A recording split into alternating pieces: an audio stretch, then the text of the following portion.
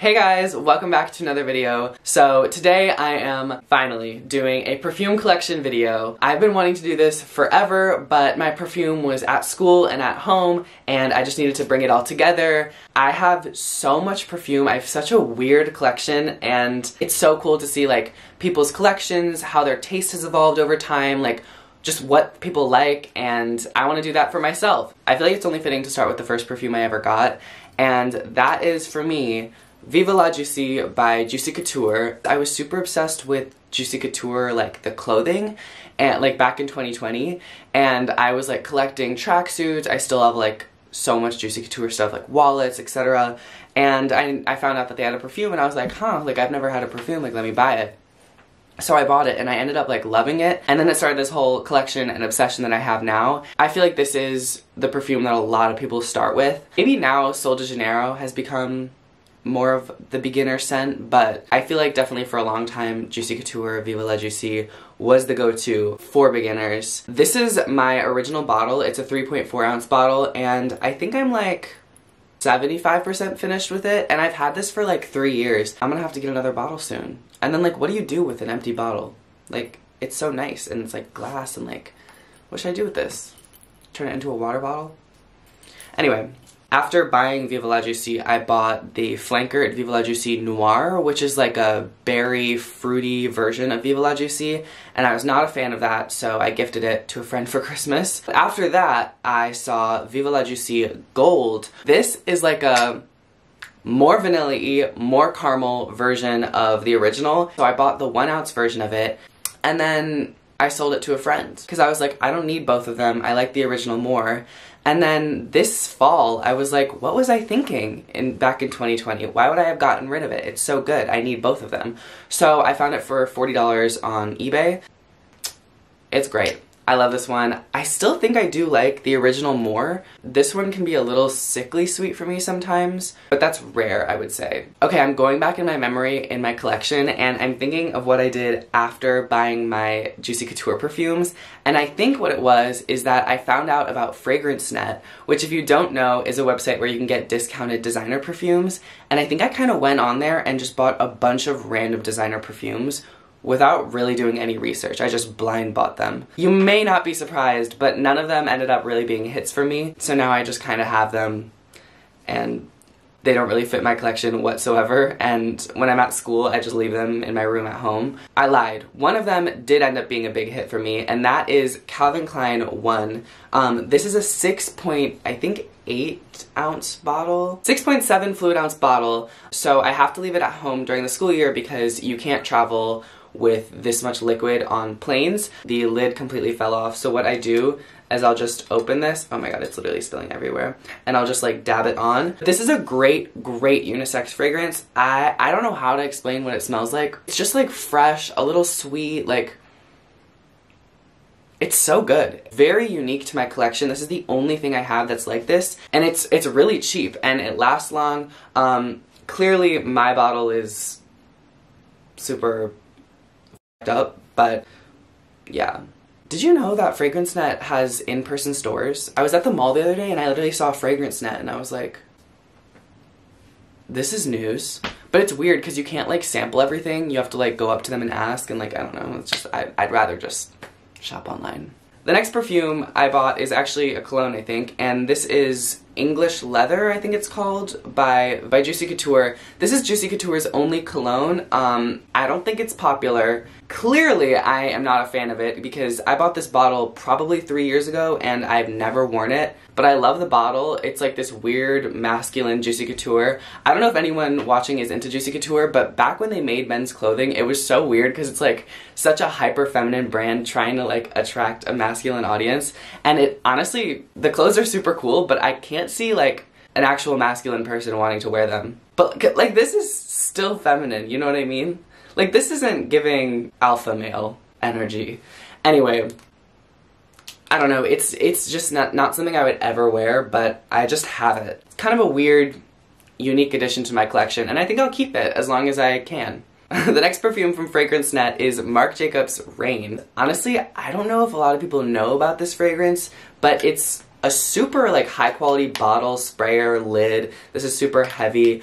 but it smells weird. Like, I just can't get over not liking the scent, and I really wish I did because it's a really cheap fragrance on FragranceNet. It's a cute little bottle. It's Marc Jacobs. I love Marc Jacobs. Like, I wear Heaven all the time. Like, I, I don't know. I don't like it. Um, and I blind bought it because I was like looking at Daisy and all these other things, and I was like, huh, this looks interesting. The juice is blue, which is super unique and it's a very watery fragrance. If you like watery fragrances, it's it has that watery note.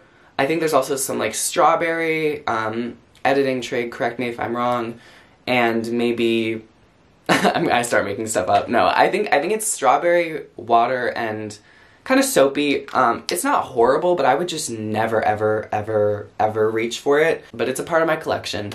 It's a part of who I am. We're still on the FragranceNet buys. I'm telling you, I went absolutely insane with this original order all the way back in 2020. And the next one on that list is Jimmy Choo by Jimmy Choo. I don't know like where I was coming from with this. Um, this is like a super adult, mature fragrance, and I bought this when I was like 16. and I actually sprayed it yesterday while I was preparing for this, and I kind of like it now. It's super fresh, super, wait, let me, let me remind myself. I'm gonna spray it on a tie. Yeah, it's super fresh, super appley, and then it dries down to like almost a little bit of caramel. I think that's one of the notes. And I don't like it as a perfume, but I like it as a room spray. I would never buy this just to spray it in my room, but I own it, so I might as well use it, right? It's been sitting in my room for three years under direct light, by the way, which you're not supposed to do for fragrances. And so I might as well use it, I figure. But yeah, this was also part of that big fragrance net order. Um, these are the weirdest fragrances I own. I, I, I don't know. These are the most unique fragrances I own because they really don't align to the scent profile that I generally lean towards um, because I bought them before I basically even knew what a scent profile was. The next perfume from FragranceNet was Mr. Burberry Indigo. I've never even smelled regular Mr. Burberry.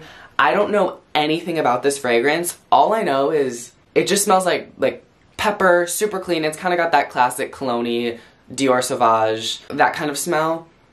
But it's super strong and I don't like it. I do like that the lid clicks in. That's just so cool. But um, I'm pretty sure I just bought this because it was Burberry and probably the cheapest cologne they were selling. I don't know if this even is sold anymore again. Like, I, it's probably not. Like, it's... I wore this a little bit, though. I'm looking at the juice, and I wore this a little bit more than all the other ones. Um, but I don't like it. And, uh, and yet it remains on my dresser. Mr. Burberry Indigo. I'm pretty sure that's all of my fragrances from FragranceNet, besides some celebrity perfumes, which I'll get into later. It's a cool site. They have a lot of good perfumes, but I would recommend you buy perfumes that you're familiar with because just because it says Jimmy Choo or Marc Jacobs does not mean it's gonna smell good. As a 16 year old, I didn't realize that. My Sol de Janeiro collection has been widening and widening. I love Sol de Janeiro. I should just, I guess I should just say, Sol de Janeiro 62. This is the 8 ounce, 8 fluid ounce, 62 scent. This is the classic Boom Boom Cream scent. I've used almost half of it now. I'm in love with Sol de Janeiro scents. The body sprays are great. They are not long lasting at all except one. They're really affordable. Um, they have really good scents. They have a, a, a, pretty wide range and I think they're coming out with a new one or it might be already out. It's the purple one. I'm excited to smell that one. This is a great scent. I carry this in my bag. I use it just to like freshen up a little bit. I don't really go out wearing this because I know it's only gonna last for like literally 10 minutes. The next Sol de Janeiro is Do Not Disturb. This was one of their limited edition scents from summer 2023 and I actually didn't get this retail, I bought it secondhand. I think I talked about this in another video, but I love this scent so much that I literally bought it secondhand even though it's like three fluid ounces and I won't be able to ever get a refill because it was limited edition, which is so annoying. It smells really good though. like that's all I can say. Um, there's not really a point in talking about it for that long because it's discontinued and I think now you can only find it for like 50 or more dollars for this and that's just not worth it. But I, I absolutely love it. I think I've got to start being more frugal with how much I use this. Once it's gone, it's gone. The next Sol de Janeiro I have is the uh, 68 fragrance. I hadn't tried this one, and this is the Brazilian Jasmine and Dragon Fruit. I don't like this one. This is my least favorite. Um, it kind of reminds me of like Baccarat Rouge with a little bit more fruit. I don't know, it's my least favorite. It's a very subtle scent and like with a fragrance that already doesn't last super long, I don't want something subtle. And so I'm glad I bought the sample size because I think after I use this, I'll probably not repurchase. The final Sol de Janeiro I have, I can't believe I have so many, is um, Sol de Janeiro 40. It's kind of interesting with this one because when I first smell it, smelled it, and like a couple times I smelled it on my friends, I didn't really like it. This is like a Vanilla Woods scent and it reminds me of Vanilla Woods by, I believe, Seven Virtues. And at first I just really didn't like it. It was too like sweet, too like, I don't know, foodie almost. But over Christmas time, I took part in a Secret Santa and I was gifted this um, because the person that had me knew that I liked Sol de, Sol de Janeiro, which is so sweet. And I was like, oh, I was obviously so grateful, but I was like, oh shoot, like this is the one I don't like. And then I started smelling it and I was like, wait, why do I like it all of a sudden? And I don't know, I, I've completely switched up on this one. I really like this one now. It's not my favorite, like 60, 62 is still my favorite, but I've like 40 is completely good now. I, I don't know what changed, but it's way more like vanilla extracty than I remembered. This is the only one that I found to be somewhat long lasting. Like I can smell this maybe an hour after I spray it versus like 10 minutes.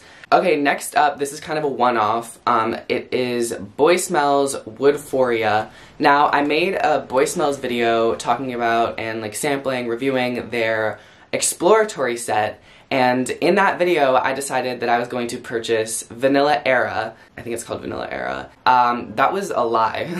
I really thought I was. Like, I thought I was gonna, like, finish recording that video and go buy it. But I ended up, like, editing and posting the video. And then after that, I went to smell them again and I, like, kept sampling them. And I ended up just liking Woodphoria more. But the video was already posted. So in that video, it says that I'm buying Vanilla Era. But the truth is, I bought Woodphoria this is my confession. I apologize for that mistruth. Woodphoria is great. It kind of reminds me of Santal 33 by Le Labo, but I like it a lot more. It's just like creamy and like woody and I don't know, it's it's good. And it's really good for fall. Obviously it's not fall anymore, but it's good for fall. I don't know, Boy Smells is an interesting house. It's very, their fragrances are very intense, which can be off-putting a little bit, but I found this one to be pretty great. Oh, I totally missed one from the Fragrance Net purchase, and that is Dolce & Gabbana The One. I was looking up vanilla fragrances, and I really wanted like the best vanilla fragrance, and for some reason everybody online was saying Dolce & Gabbana The One, and this is like far from a straight up vanilla. This is like almost bubblegummy and like eggnoggy is what it is. It's eggnoggy. And I don't get me wrong, I like eggnog, but like I, I, it's it's not just eggnog. Like if it was just eggnog, that'd be fine. If it were just eggnog, if it were just eggnog, that'd be fine. But it's like a perfumified eggnog scent, and I don't know. I don't want that. Um, so, but I just, I have this. I've never seen someone talk about this online besides before buying it, of course. And uh, I don't know what this is all about, but I can't, I can't be bothered to spray this one. Don't blind buy. I continue to blind buy, but whatever. Ugh. Okay, next up is another one-off perfume. Well, it's not even a perfume, it's a body spray. And that is Bath & Body Works Vanilla Bean Noel. This was the version, like the packaging version from 2020. Um, this is the only Bath & Body Works like body spray I've ever bought.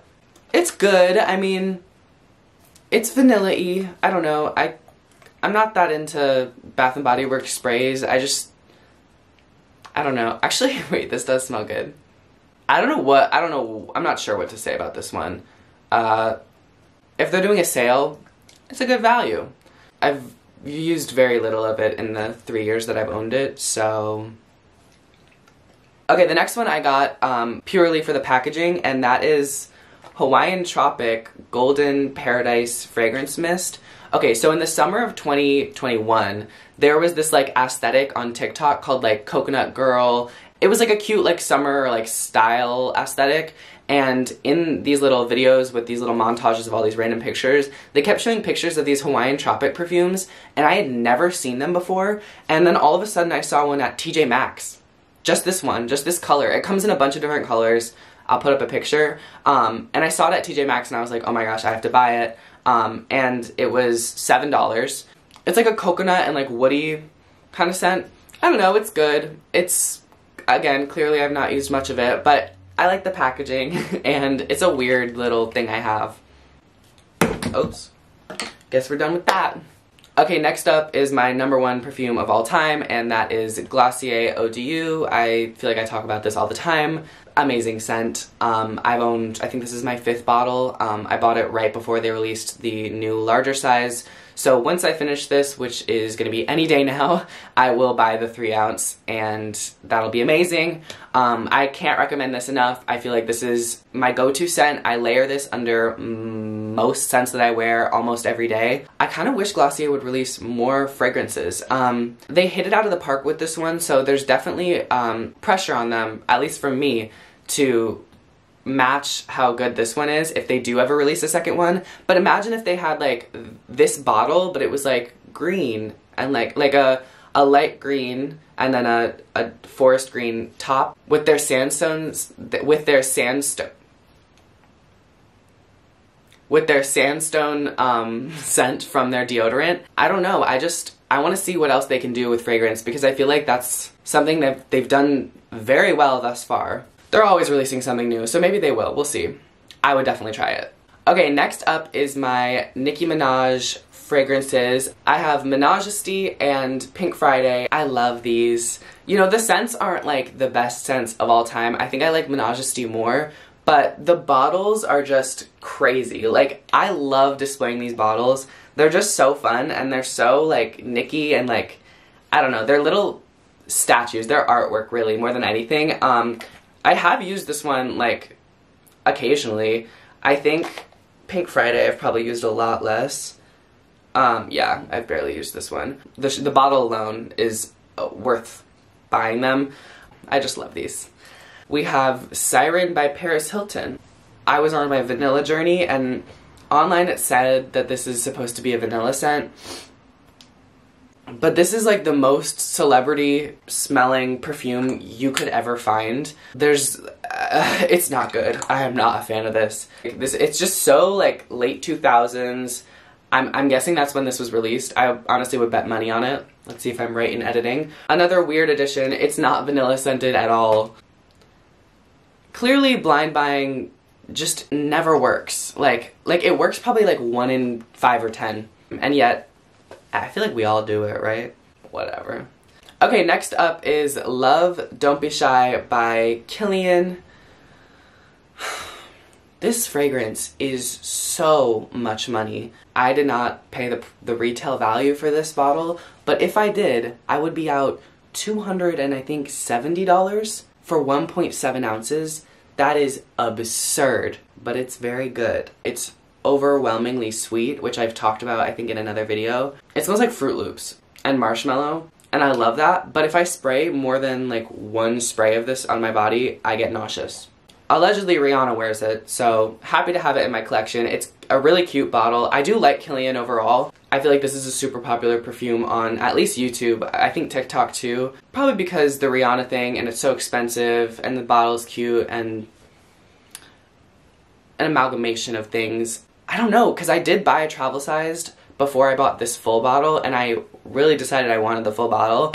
So it's not like there's really anything I could have done to prevent this purchase. Take your time before buying a perfume with this price tag. Take your time with the decision. Next up is um, Moschino Fresh Couture Moschino Pink. I don't know what the actual name, Moschino Pink is the name. Um, I bought this strictly for the bottle, and I'm glad I did because I hate the scent. Like, it's probably my least favorite. I don't know about my least favorite, but I, I don't like the scent of this, but the bottle is just so fun. Like, it's literally like a... Mm -mm. I wish the perfume you could actually like spray it like this. You actually have to take this off and then spray it. I'm not gonna. It's definitely fresh. It's definitely fresh and it's definitely floral. So bear that in mind. Beware, actually. Cute bottle though. Sorry. um, that was really dramatic. The next perfume is actually a body mist. I have more body mist than I thought I did, and that is the Brazil Nut Body Mist from Trader Joe's. Trader Joe's has a Sol de Janeiro dupe. I have this in a bunch of different things. I have it in a cream, a candle, an oil. It's really good. It's like a a fruitier version of Sol de Janeiro. I've actually never smelled them side by side. Wow, they're really similar. They're actually more similar than I thought. The Trader Joe's version is like a fruitier version of Sol de Janeiro, but I really like it. I got this in a holiday set. It's in a weird little pear bottle, but that's okay, and it's really cheap. So if you're looking for a nice dupe, this is what you're gonna find. This is probably like $5, I would guess. I bought it in a set, so I don't know, but I guess it's like $5 or something. And this is like 30 something. So, uh, lasting power wise, it's very similar. Not good, but it's a body spray, you know, body mist, whatever. Next we have um, Gucci Flora Gorgeous Gardenia. I'm really conflicted on this because when I bought it, I was like, this is my new signature scent. Like, I'm gonna wear this every day. And then I bought it. I like it, but it's just a little bit too I don't know what it is. Something about it. The, the note that I really like in here is like a brown sugary note, and I do like the gardenia, but there's something department story about it, and I don't know what that necessarily means. I think you just have to smell it to know what I'm talking about. But the bottle's super cute. I do wear it occasionally, but it did not end up being as big of a hit as I thought it was gonna be. And I wouldn't have bought it if I had known that I wouldn't wear it so much. But I swear, like when you sample things, like I sampled this at Ulta, I wore it out of the store, wore it all day, I was like, oh my gosh, it's so good. And then once you buy it and once you can wear it every single day, that's when the truth reveals itself. But there's really no way to know if you're gonna love it without buying it first. Um, because clearly sampling it can be untrue. I guess I could have bought a, a travel size, but I wanted the bottle. Next is my most recent addition to my collection, and that is Fresh Cream Warm Cashmere by Philosophy. Um, Philosophy is like a body care line. They do like a lot of body washes, lotions, and I guess they have perfume. I love this perfume. It's like a whipped cream, cashmere, vanilla-y scent. I love it so much. It's honestly my favorite perfume right now. My only issue with it is that it has no lasting power. I quite literally can't smell it after an hour. I think that maybe because it's an eau de toilette, but I'm not sure. I wish they had a stronger version of this. They sell warm cashmere or fresh cream fresh cream warm cashmere in a body lotion and like a body wash so maybe I can like buy those and that would help it like last on my skin but um, I bought a set that had both of these. This is just like a little small version of it. And I got it for a really good deal, so that's nice. Um, I recommend it though, even though it is not super good at lasting. Okay, next up is one of my favorites, I can say, kind of. It is YSL Libre Intense, and this bottle has been through it. The YSL actually fell off. I bought the original last winter and once again I was like, oh my god, this is my like new signature scent. Like I'm gonna wear this all the time. This is all I ever need. I don't need any other perfume ever again. And then I smelled the intense version and I was like, oh my god, like this is what I'm gonna wear. This is my new signature scent. So I ended up having both of them.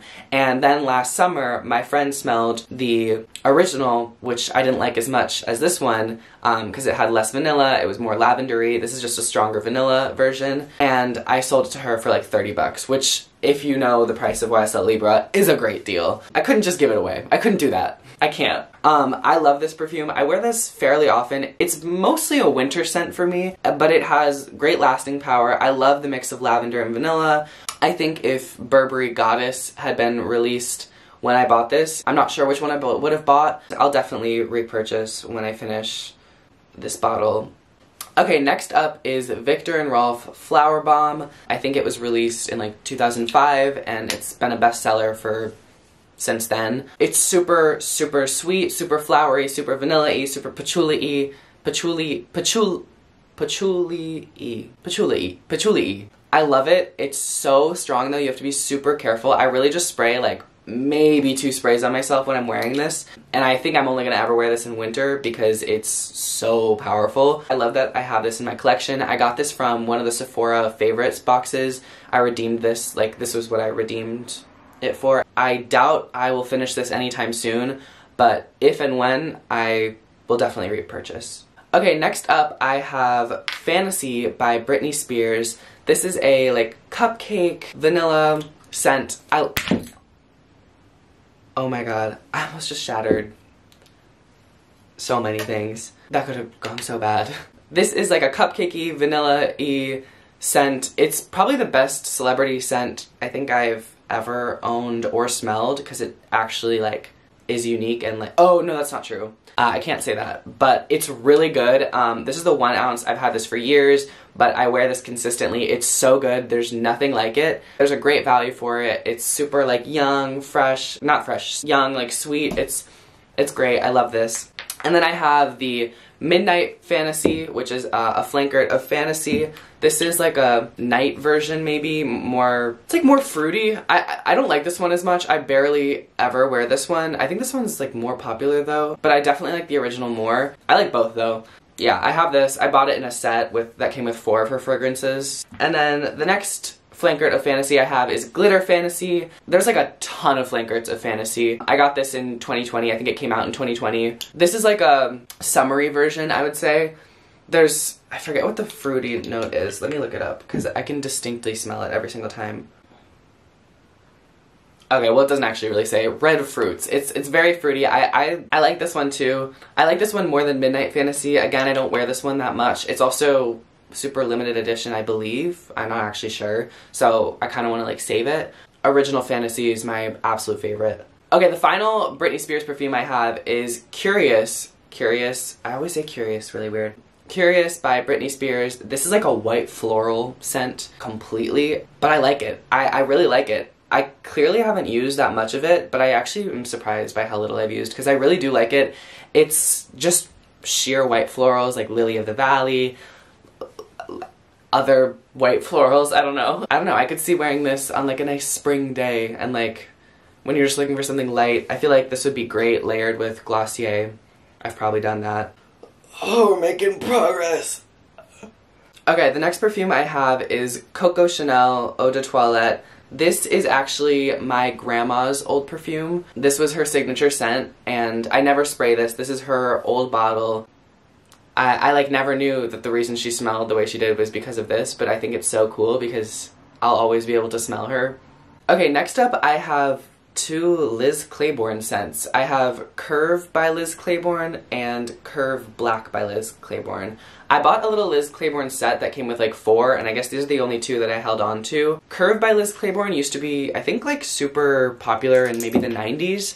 I don't really like it. It's, I don't know, I don't like it. But Curve Black, I actually used a lot, like my senior year of high school. This is maybe like one ounce, and I think there's like, yeah, there's like barely any left. This is just super like masculine, like cologne um, and when cologne, baloney, I don't, sorry. But when I wanted something like that, this is was always my go-to. I definitely wouldn't repurchase this because I could find colognes that I like more, but since I owned it, I just used it all the time. Okay, next up is Dossier Ambery Saffron. This is a Baccarat Rouge 540 dupe. I love this scent so much. I'm like halfway through it. I got it relatively recently and I've just loved it ever since I bought it. I I don't know, this is amazing.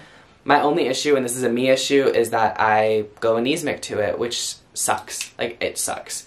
This is the only perfume I've tried from Dossier, but I'm super impressed by it because it smells exactly like Baccarat Rouge, and I'll definitely purchase stuff from them in the future when there's something I want. I'd love to try more stuff from their line. Couldn't recommend it enough. It's such a good price for the scent that you're getting, um, especially considering how expensive Baccarat Rouge is. And yeah, and the bottle is like chic. It's cute. Okay, next up I have Hello Kitty. I don't know what this is. I don't even have a lid for this, so I can't smell it. I don't know what the story is with this. Like, I don't know where I got it. I think Hello Kitty's made like a bunch of random perfumes or like licensed a bunch of random perfumes. Made in France. Coto perfumes. I, I'm not really sure. I don't know anything about this. I've never smelled it because there's no lid. I'm curious. I'm curious what it smells like. Ew. This is like molasses. Ew. Oh, okay. Not a fan. Maybe it's expired, but. I don't recommend that. I don't know what that's about, but I'm glad that I don't have a lid for it because I don't like it.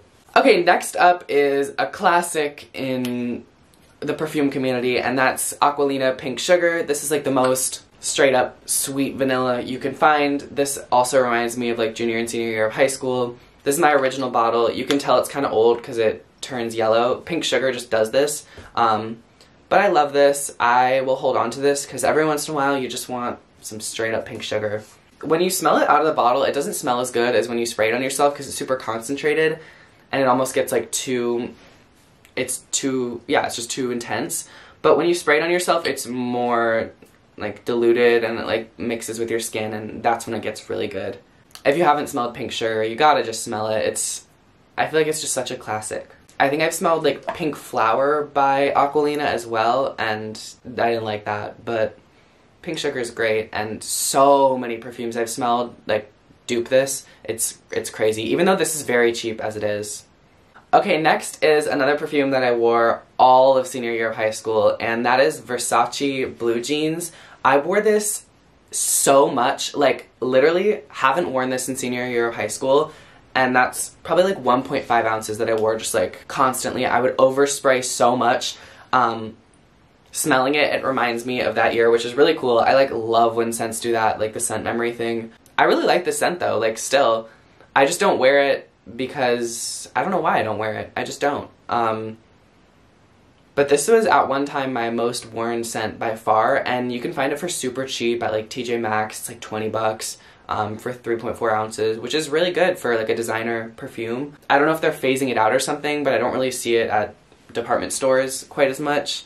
Okay, next up is the best celebrity scent I think I've ever smelled, and that is Ariana Grande Cloud Intense 2.0. I love Original Cloud, but the Intense is just, to me, like a better version of it. It's so good. Um, it's only sold at Ulta, I believe, and the reason I like it so much, turns out, is because I love the Baccarat Rouge DNA, and while this is not like an exact dupe whatsoever, it's pretty different, um, there is something in it that smells a lot like Baccarat Rouge, or at least my dupe of Baccarat Rouge. Ariana Grande is known to have really good celebrity perfumes. Um, they're great value. This is the only one I've ever owned, but I've considered buying other ones. Um, for the Cloud line, this is by far my favorite. Pink Cloud got released last summer. I didn't really like that one quite as much. It's more fruity, so that's not really going to be for me.